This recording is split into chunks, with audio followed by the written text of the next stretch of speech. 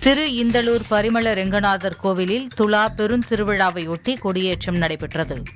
மயிலாடுதுறையில் ஆண்டுதோறும் ஐப்பசி மாதம் முப்பது நாட்களும் நடைபெறும் துலா பெருந்திருவிழாவில் திரு இந்தளூர் பரிமள ரெங்கநாதர் கோவிலில் இருந்து சுவாமி புறப்பாடு செய்யப்பட்டு காவேரி மண்டபம் அருகில் தீர்த்தவாரி நடைபெறுவது வழக்கம். துலா பெருந்திருவிழாவையொட்டி திரு இந்தலூர் பரிமள ரெங்கநாதர் கோவிலில் திருக்கொடியேற்றம் நடைபெற்றது. இதையொட்டி திருவந்திகாப்பு மண்டபத்தில் உற்சவ மூர்த்தியான சுகந்தவனநாதர் ராஜ அலங்காரத்தில் எழுந்தருளினார். தொடர்ந்து கொடிமரத்திற்கு சிறப்பு பூஜைகள் செய்து கருட கொடி ஏற்றி மகா தீபாராதனை காட்டப்பட்டது. இதில் திரளான பக்தர்கள் பங்கேற்று சுவாமி தரிசனம் செய்தனர்.